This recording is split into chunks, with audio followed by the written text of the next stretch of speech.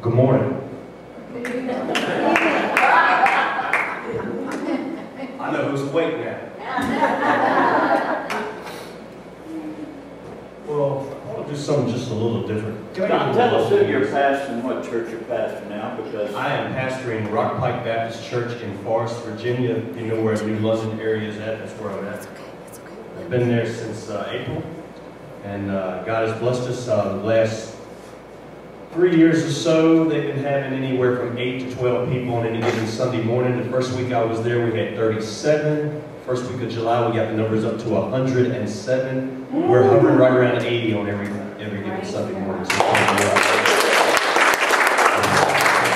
That's a little bit more vocal right here, please. I'm having a real hard time hearing. Thank you. Well, I just want to tell you a little bit about myself for those who don't know who I am. My name is John Sines Jr., and I was born in Bedford, Virginia. And when I was a little boy, my mom and dad used to take me to a Salem, to a place up there called Lakeside. Anybody ever remember Lakeside? yeah, And I used to go up there and watch.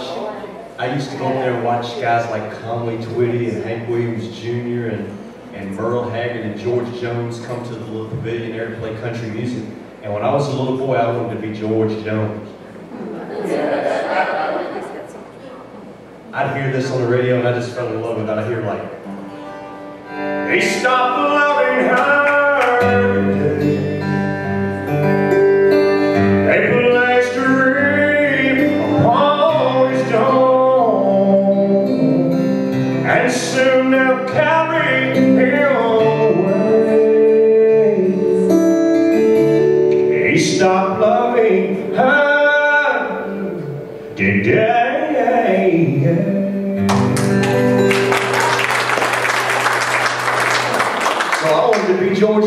I fell in love with country music, and I said, that's right, that's right there is what I want to do. I want to do country music. And God gave me a desire for country music, and I gravitated to it. And as I got a little bit older, I heard this on the radio, and I really love this. I heard, not that loud.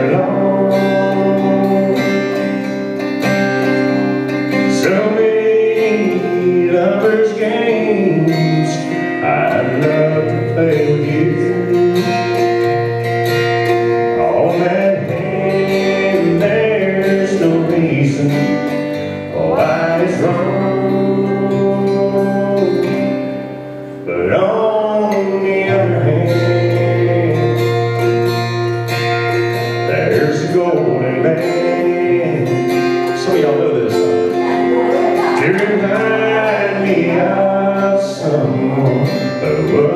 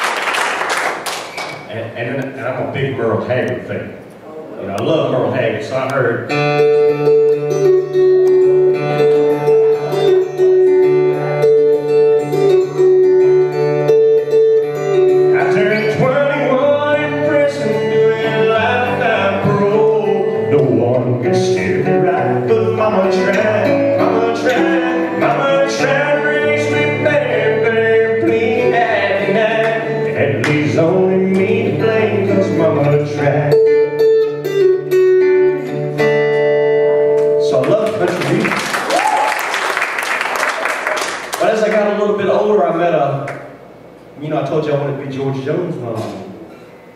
But when I got got to be a little older, I found out there was another man that I met that I wanted to be more like, and his name was Jesus Christ. So I was glad when I started hearing country music that sounded more like this.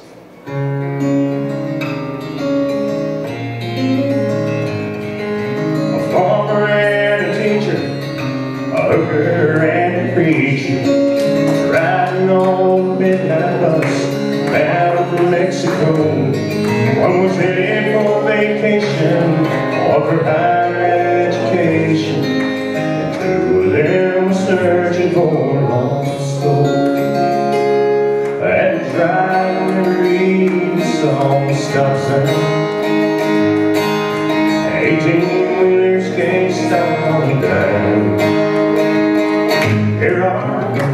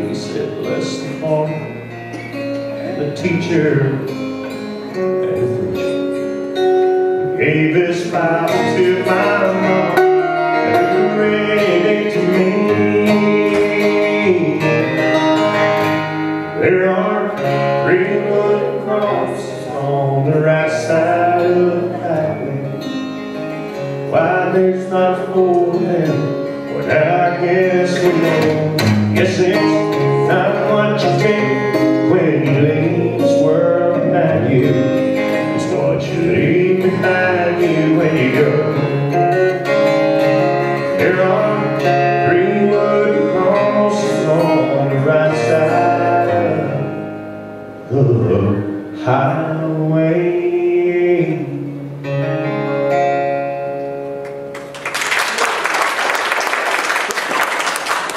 That's why I got my relationship right with God and I started trying to figure out how I could take my love for country music and my love for Jesus Christ and bring the two together, I started discovering more and more country music that had the message that I wanted to hear. You know what I mean? So I, and then I heard this by George Strait. I love George Strait.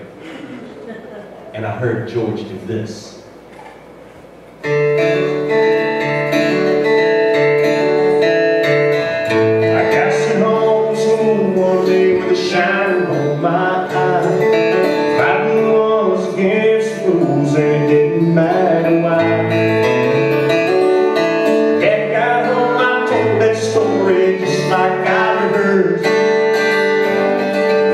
to do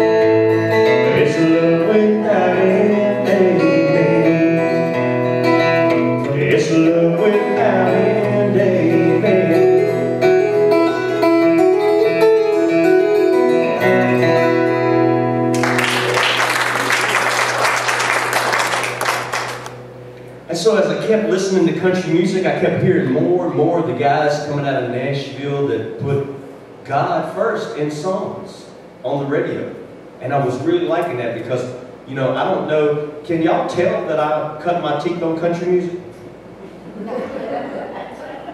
Are you sure that my rap influence ain't coming out? so I was really liking guys like Josh Turner when I would hear them already. And, and he would do something like this.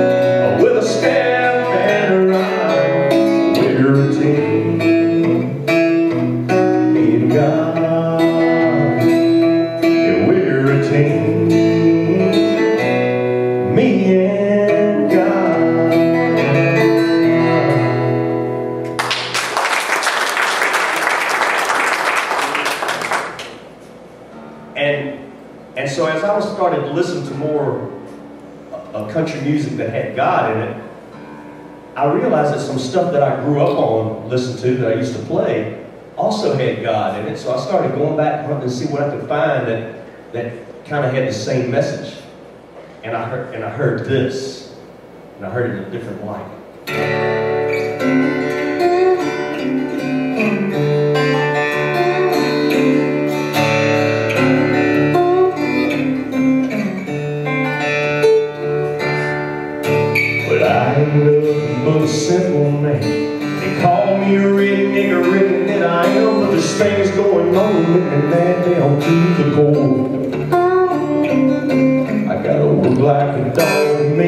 me. There's crooked politicians and crap in the street, and I'm mad in hell. I ain't gonna take it no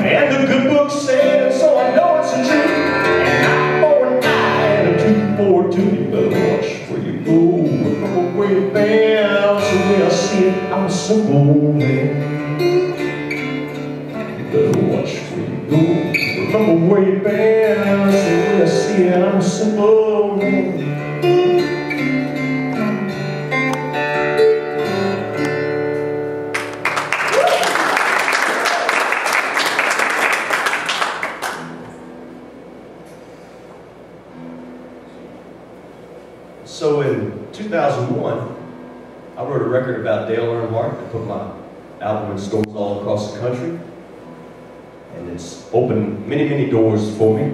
Last week I was in Green Bay, Wisconsin, and uh, doing a concert up there to a crowd of 900 as we're outreaching for Christ.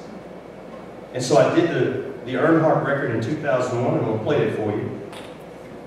And uh, I'll tell you more about it when I'm done. I was watching the Daytona 500 on February 18, 2001. Watched the fatal wreck that killed Dale Earnhardt. I wrote the song the next day, put my album in stores nationwide, helped me be on the road with a lot of big names in country music, opened a lot of doors for me. And it's my tribute to Dale Earnhardt called Black Number Three. I hope you enjoy the acoustic version of it.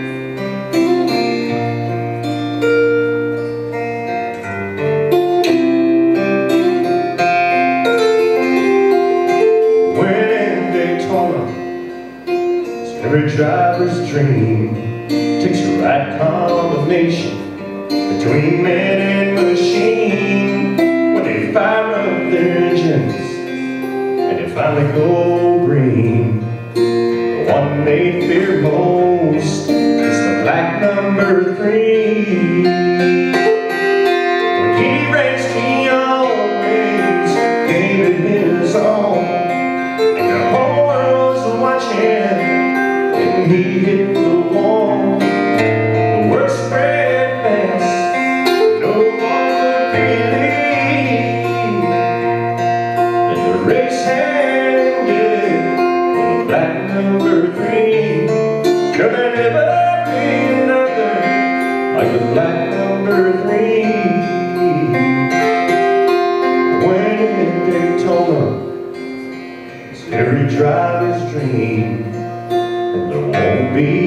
Be another Like the black number three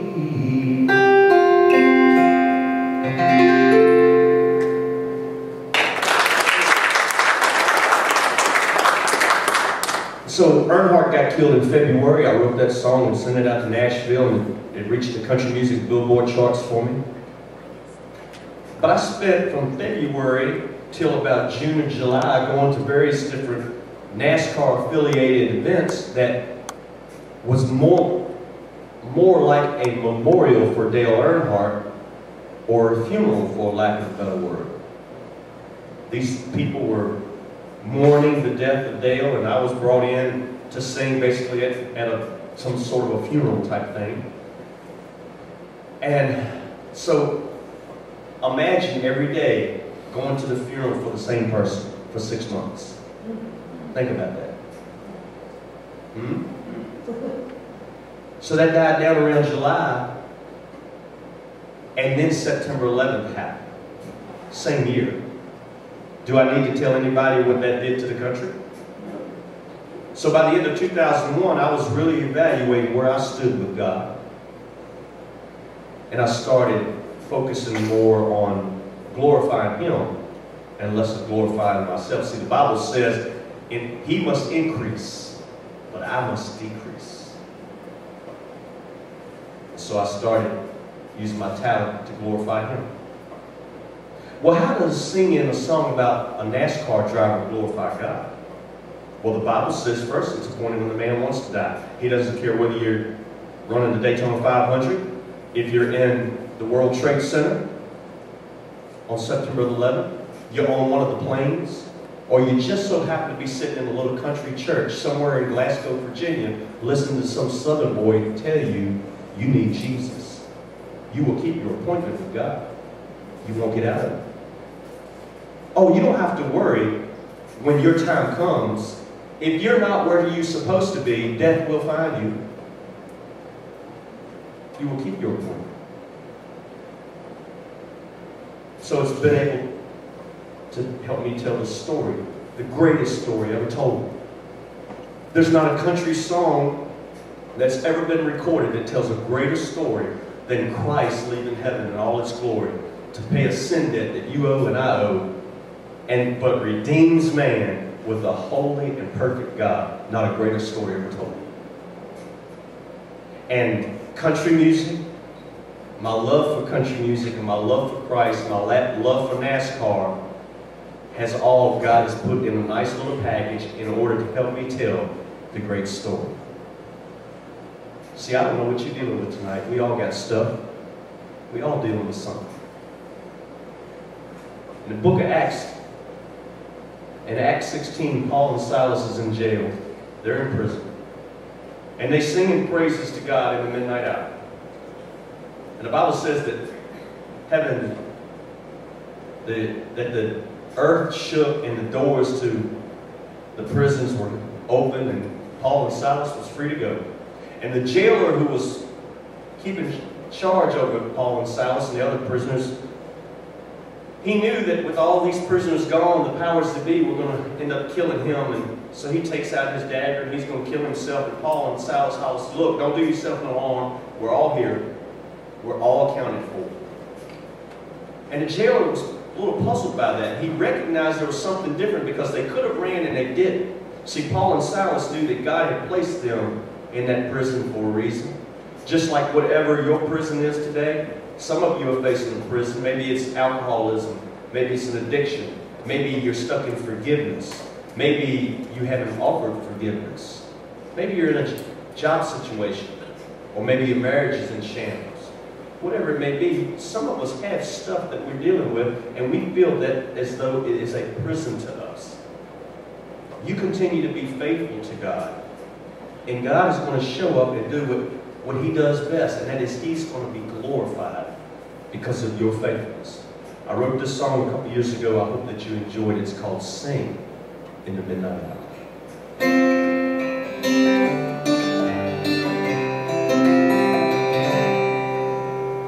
Know what you're going through. You might be okay. Might be on the mountaintop But that will change just when There's a valley Up ahead someday.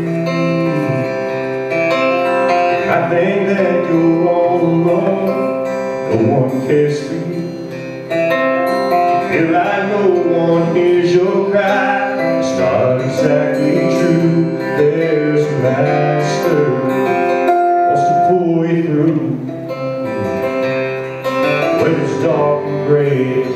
roll across the sky Lift up your voice and rejoice. Lift it high and sing it loud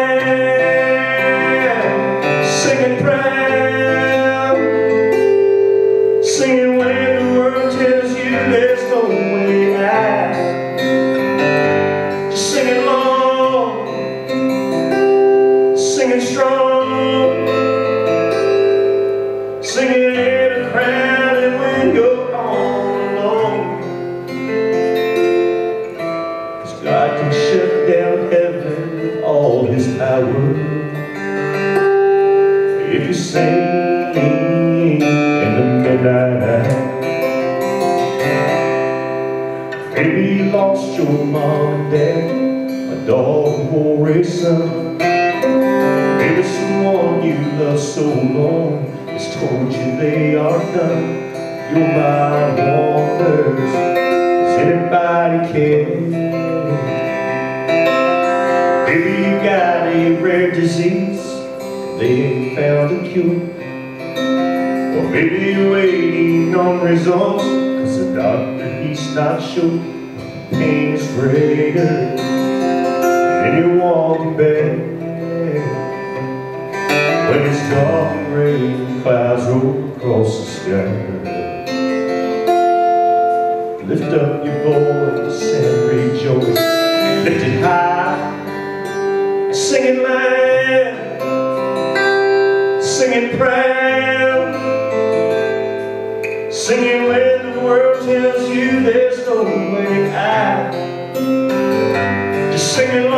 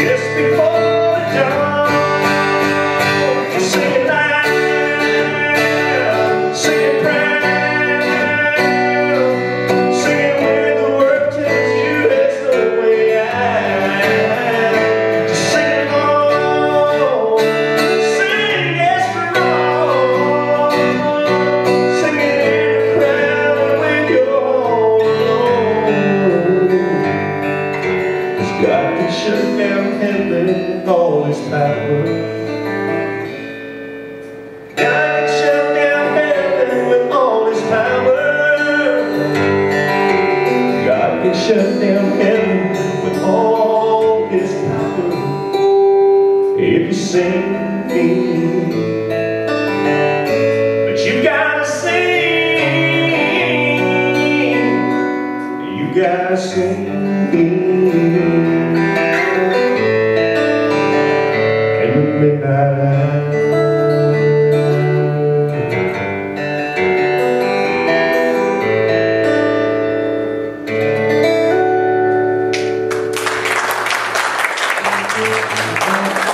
you so much. I got time to do you one more and I'm gonna let you go, all right?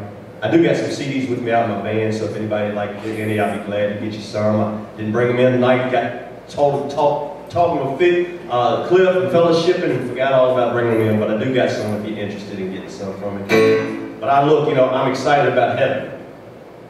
Are you excited about heaven? You know why I'm excited about heaven? Is because Christ has been preparing that place for over 2,000 years. And then in earth and the universe is what he's done in six days. And if this is what he does in six days, what heaven must look like. He's been working on it for 2,000 years. But I'm excited about going to heaven. I'm excited about the day he calls me home. I am looking forward to seeing my Savior and spending eternity. Listen, in a place where ain't no more sickness. Ain't no, won't be no more aching. Won't be no more pain. You won't have to worry about going hungry. You won't have to worry about being too cold, too hot. You don't have to worry about somebody hurting your feelings. You don't have to worry about how you're going to keep the electric bill on. You don't have to worry about how you're going to pay the mortgage because the mansion has been prepared, paid in full for what Christ did on the cross at Calvary. I'm looking forward to when we all get to heaven. Are you looking forward to heaven? Sing with me if you know this, all right?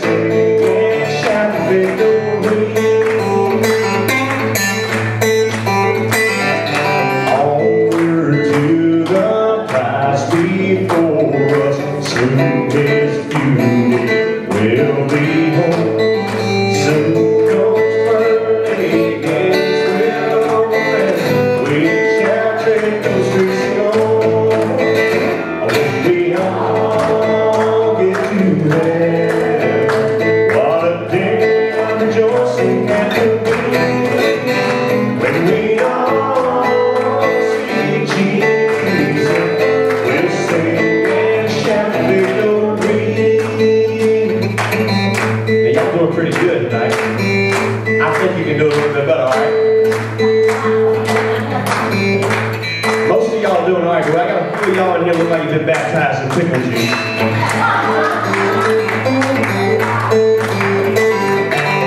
So we're gonna sing this again, all right? And listen, listen, I'm gonna sing it until everybody is smiling. So the quicker you smile, the quicker we go home,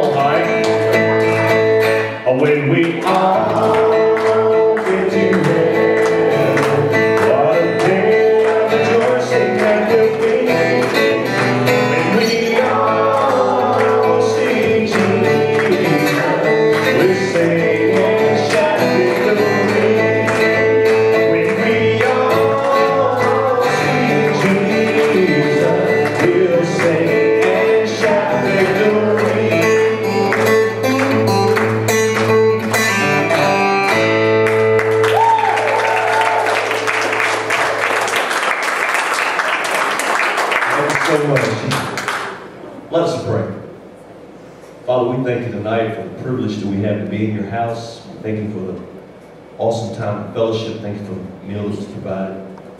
God, we just thank you for your love to us. We thank you for showing that love to us on the cross of Calvary. Lord, I don't know the hearts of these people tonight, but you know. And I pray that you move in their hearts at this time, at this hour, right now. Every head bowed, every eye closed. Let me ask you something. Are you a Christian tonight? When I mean a Christian, I mean are you a Christ follower? Do you follow Christ in your in your thinking and in your walking? See, anybody can say you're a Christian. I can say I'm a I'm a Dallas Cowboy fan, but I have to like the team and pull for the team. I can't be a Redskin fan and pull for Cowboys. That's a conflict of interest. Listen, are you a Christian tonight? Are you a Christ follower? If you are, you're a soldier in this in this spiritual battle we're in. And if you're not a Christ follower, then you're wearing a uniform insubordinate to the commander in chief.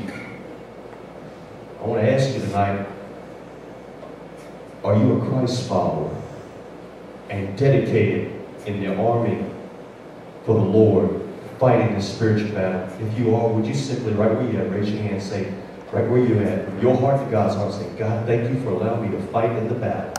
I'm not perfect, I'm not a perfect soldier, but thank you for allowing me to be in the fight.